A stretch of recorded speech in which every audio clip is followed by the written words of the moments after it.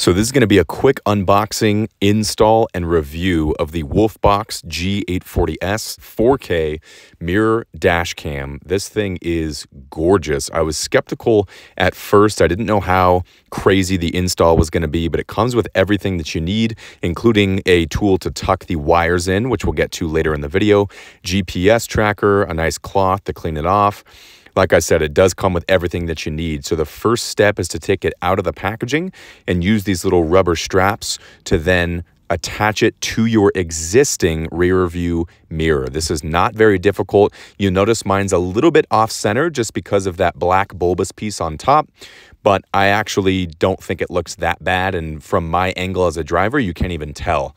So now let's give power to it. We're going to use the cigarette lighter. You can also hardwire this, but it's pretty simple. You just plug it in at the top, and then this is going to vary by car. I'm driving a Jeep Grand Cherokee here, but you can use this helpful tool to tuck it in between your windshield and the headliner and then also on the side, there's some side paneling. In this Jeep, it was actually pretty darn easy, especially with that rubber stuff that I'm doing right there, kind of the weathering, weatherproofing on the door that was the best stuff to do it with. So I just was very careful and tedious, went around, made sure that it was fully inside, and I really cannot notice it, which is super nice.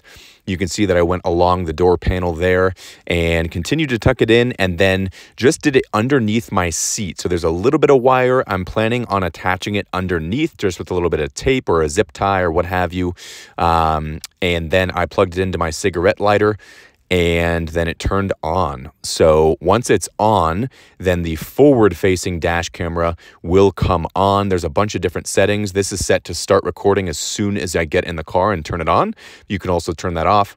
And then there's going to be that film that you take off. So now that the front camera is good, let's figure out the back camera.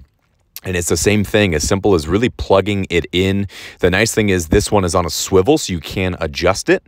And then I plugged it in at the top there. That's going to be the backup camera or the camera on the back. And then the same thing just on the opposite side. So tucking that cord using that tool and your fingers underneath the panels and on the side panel. This one's going to be slightly different because it's going to be going all the way back to the back of the car. Again, it'll vary by car, but I did not have trouble on my Jeep completely hiding this wire from front to back. And I believe that most cars you'll be able to do that, which is pretty cool. So you can see some of that piece is plastic, some of it's the headliner. This was honestly the easiest spot. I could just do this with my fingers the whole way. Didn't even need to use the tool which was pretty cool. So you can not see it there. and then the only kind of little trouble I had was in the back.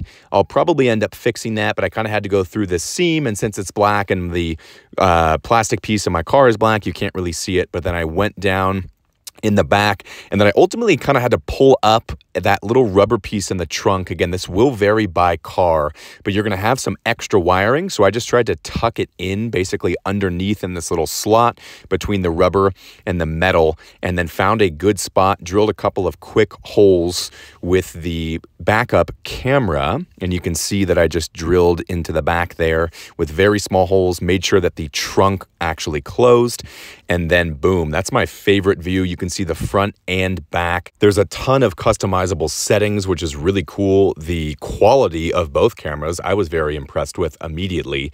And like I said, there's just a bunch of customization that you can do. So the nice thing is too that when this turns off, it actually does act like a normal rear view mirror, which is really nice. So if you did want to simply unplug this or ultimately turn it off and just have it act like a simple rear view mirror again, you can do that. So the amount of options that you have on this thing for the price, I just think it's absolutely exceptional and I highly recommend it.